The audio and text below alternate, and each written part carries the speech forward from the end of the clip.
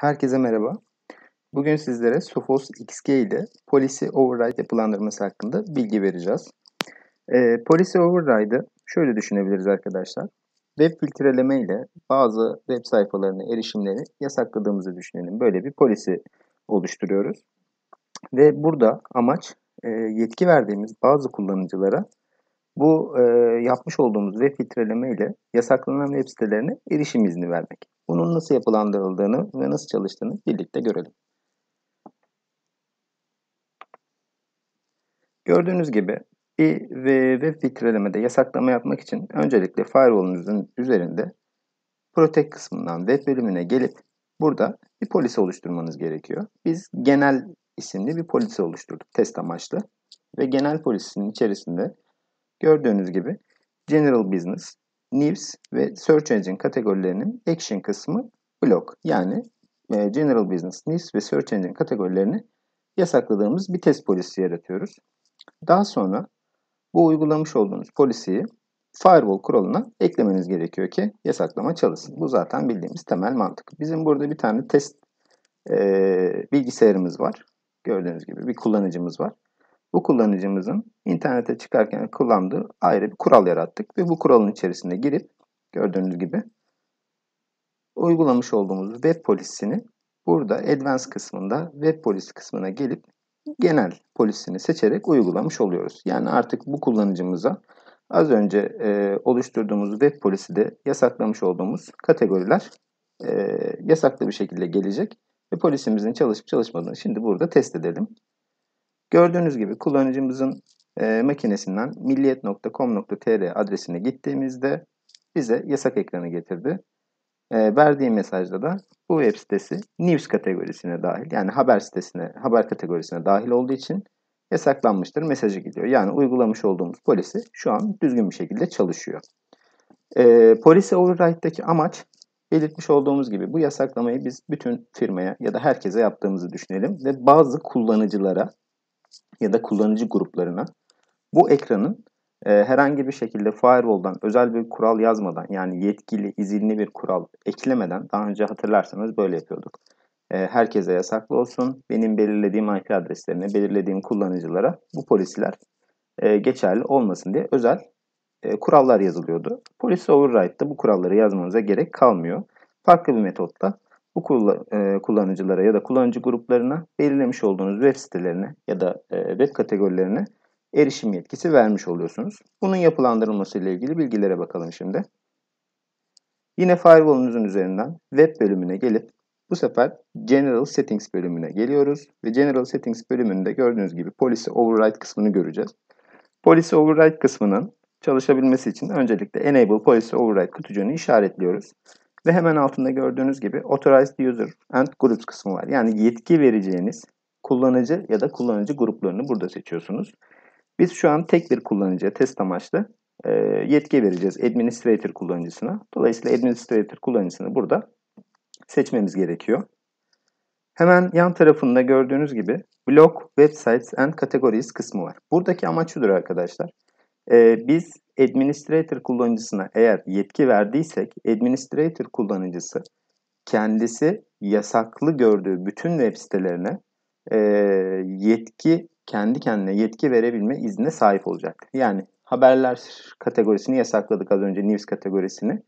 Kullanıcının karşısına yine news kategorisi yasaklı geldiğinde bu kez administrator kullanıcısı bu yasağı kendine yetki vererek geçebiliyor konumda olacak. Yani yasaklı gördüğü her web sitesi için bu yetkilere sahip olacaktır. Fakat biz e, blog website'den kategorisi kısmına bir web sayfası ya da bir web kategorisi eklersek yani e, gördüğünüz gibi General Business kategorisini ekledik.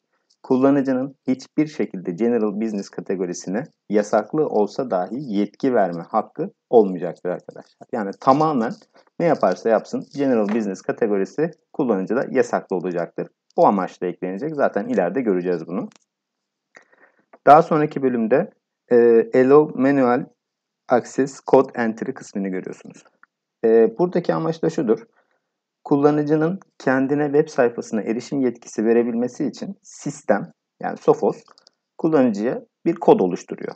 Bunu otomatik olarak oluşturur ve kullanıcı bu kodu girerek e, web sayfasına erişim yetkisine sahip oluyor. Eğer buradaki Allow Manual Access Code Entry kutucuğunu işaretlerseniz kullanıcı bu e, sisteme giriş yetkisini verecek olan, sağlayacak olan kodu isterse elle de kendi oluşturabiliyor. Biz şu an bunu işaretlemiyoruz. İsterseniz dediğim gibi siz de bunu işaretleyebilirsiniz.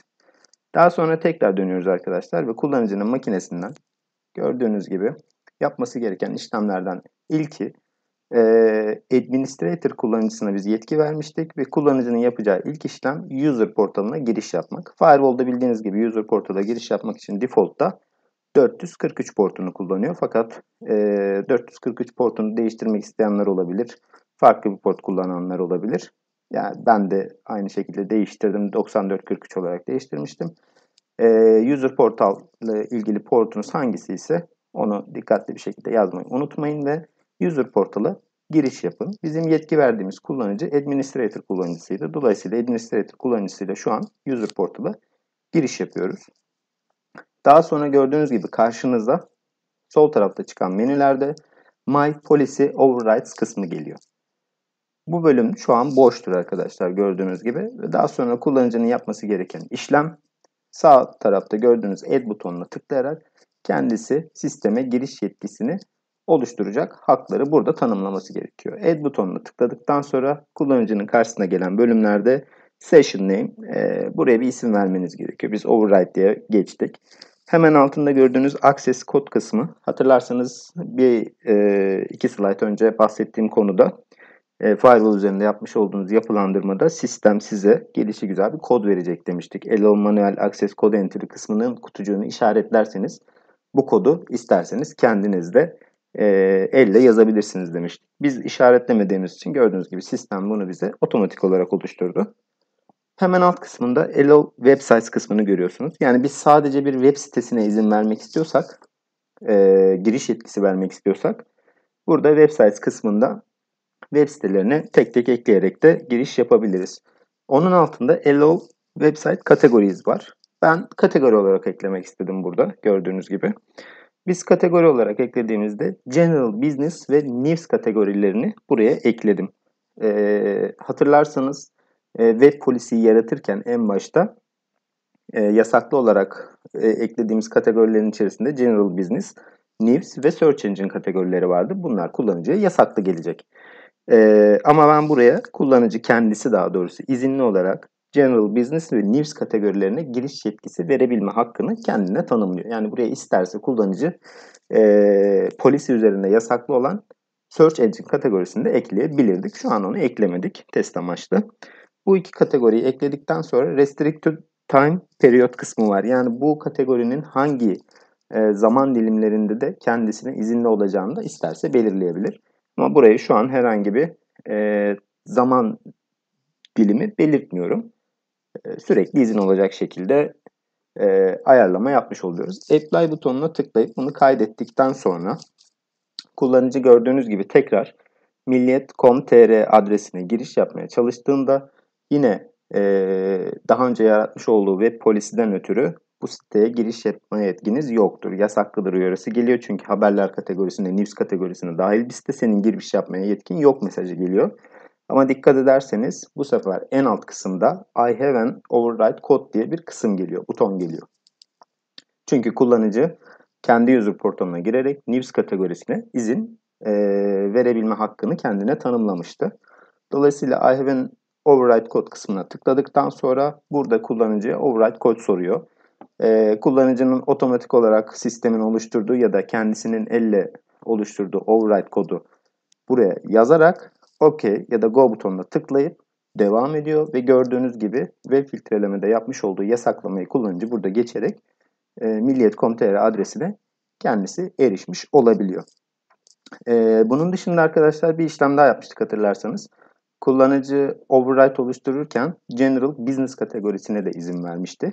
Ama biz yönetici olarak yani firewall'da kendimiz e, blog websites ve domains kısmında General Business kategorisini oraya eklemiştik. Yani ne demiştik? Kullanıcı kendisine ait e, override kodu olsa da user portalından ilgili web sitesi veya kategoriye giriş yapma yetkisini tanımlamış olsa dahi biz o blog kısmına eklemiş olduğumuz web sitesi ya da domainleri hiçbir şekilde erişim yetkisi olmayacağı anlamına geliyor demiştik. Gördüğünüz gibi test amaçlı comtera.com e, web sitesine ulaşmaya çalışıyor kullanıcı ve gelen mesajda da bu web sitesine ulaşamazsınız. Çünkü bu web sitesi General Business kategorisine dahil diyor. E, hatırlarsanız kullanıcı user portalında General Business kategorisini de yetkili web sitesi olarak ya da yetkili e, kategori olarak eklemişti. Normal şartlarda buraya da I have an override code e, bölümü gelip kullanıcının kod girip devam edebilmesi gerekiyordu. Fakat gelmemesinin nedeni az önce söylediğim gibi biz yönetici olarak firewall üzerinde override kısmını oluştururken blog, websites and domain kısmına general business kategorisine eklemiştik. Yani ne dedik? Kullanıcının hiçbir şekilde benim buraya eklediğim web sitesine ya da web domainlerine giriş yetkisi olmayacağı anlamına gelecek demiştik. Dolayısıyla kullanıcı bu web sitesine herhangi bir şekilde giriş yetkisine sahip olmayacaktır arkadaşlar. Dinlediğiniz için teşekkürler.